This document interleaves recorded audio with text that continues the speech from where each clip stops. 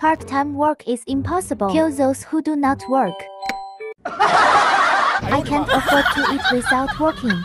Go to the boss first and steal some pocket money. What about money? Pocket money was not found. I was also targeted by the boss. Who said you can steal money from your boss's private house?